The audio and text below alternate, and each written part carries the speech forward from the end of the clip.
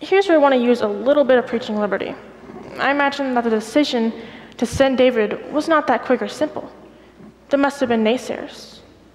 There must have been whispering. There must have been grumbling, complaining, and arguments. And what about his brothers? Did they stand idly by? I mean, they may have been jealous of him, but this wasn't a Joseph situation either. They didn't want to see him get killed. Maybe there was a conversation like this um, King, can I, can I have a word with my brother? It won't just take but much a moment, sir. Yes, sir. I understand the gravity of the situation, but just a word. David, have you lost your mind, man? What's wrong with you? You didn't get enough sleep out there with the sheep? Have you seen Goliath? This isn't a game anymore.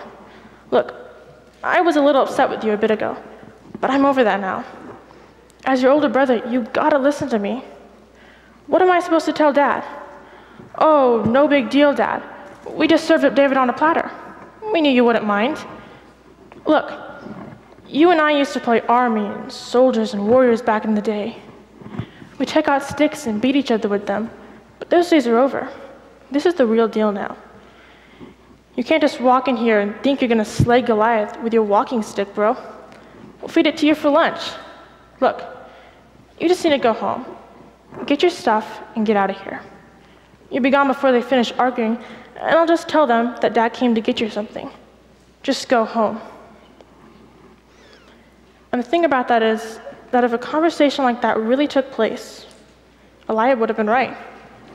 I mean, logically speaking, he's making a lot of sense. This was a suicide mission, and everyone knew it. Well, everyone but David, that is.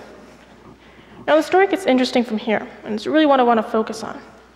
Pick up at verse 38. So Saul clothed David with his armor, and he put a bronze helmet on his head. He also clothed him with a coat of mail. David fastened his sword to his armor and tried to walk, for he had not tested them. And David said to Saul, I cannot walk in these, for I have not tested them. So David took them off.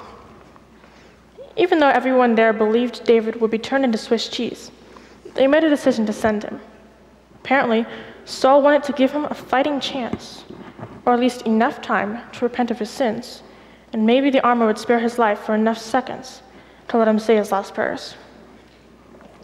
David tried the armor on, then started on his way, but quickly realized this was not going to work. He turned back to Saul and told him, I cannot wear these. I have not tested them. And here's where I want to pause for a moment. What exactly does that mean?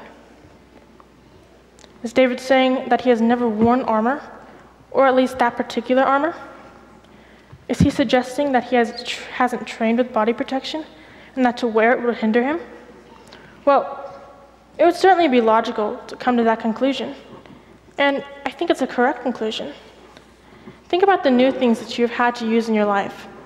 There's always been a learning curve with something new. Unfamiliarity keeps us from giving our best because we hesitate. David is going to fight a giant of a man, clad in seemingly impenetrable armor. The last thing he needs is to trip over his boots and land face down, unable to move. But I think there's more to this statement than a quick cursory reading provides. I imagine that when Saul offered his armor, everyone in the room was in agreement. And if Eliab had been there, he would have voiced with the choir.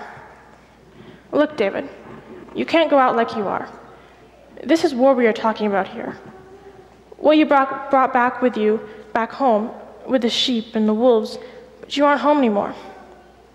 We are facing the most sophisticated army yet, with the newest, greatest, and latest battle weapon and gear we have seen to date.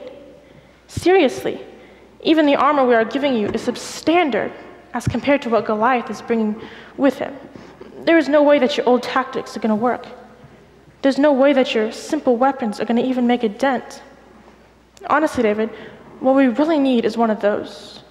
We need another giant weapon like Goliath. But in that, we don't have that technology. The best we can provide you is this you have to wear this or you're dead meat.